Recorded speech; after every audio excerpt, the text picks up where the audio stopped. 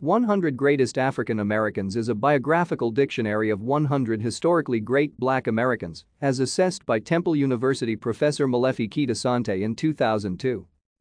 Asante used five factors in establishing the list. Reference and User Services Quarterly reviewed the list positively in 2003 while noting the subjectivity in judging greatness, particularly for contemporary individuals. Thank you for watching. Like and subscribe if you would like to view more of our videos. Have a nice day.